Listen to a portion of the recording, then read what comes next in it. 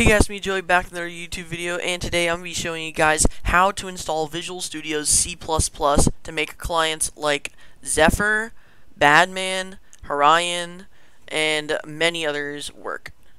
So, here's how to do it. First, go to my Discord, link in the description.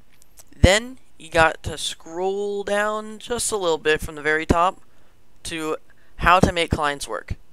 Then, click on this first link to download Visual Studios 2019. Then it will install it. Almost installed. There we go. So it'll say where do you want to install it. Install it anywhere. Just go to your downloads, I guess, and then click save.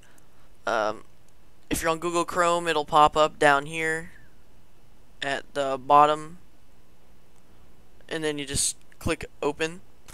Once you open it, it should open up and start installing.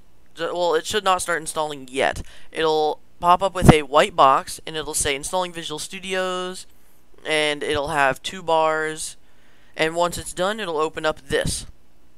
Once this is opened up, uh, it'll have lots of different options right here. So you want to click this option Desktop development with C++. You want to click it, it'll be right about here. If it's not there, just scroll down a little bit and then find it. You need to click the check mark right here. So just click the check mark on it, and then it'll pop up with things on the right. Don't worry about that. That is just telling you what it's installing. Then just tap continue. Once it does that, it'll start installing just like this. For me, I am updating it right now um, because I have not updated Visual Studios yet. Um, and it'll look like this. Then once you're finished, you can open up Minecraft and you can open up different stuff. You can open up your clients, you can inject them. Everything should work. If you have any issues, just message me over Discord.